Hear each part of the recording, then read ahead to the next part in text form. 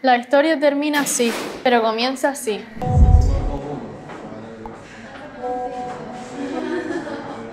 De un día para otro, ella ya nunca quería quedar, pero eran cosas de él, que no le gustaba verla con nosotras. A mí que le pidiese que le mandase la ubicación, no me gustaba nada. Ya, pero ¿qué íbamos a hacer? Dejarla, era su decisión. Él era un pibe muy majo. Pero él se pasaba, la ridiculizaba todo el tiempo. Y ella lo veía, porque a veces se enfadaba.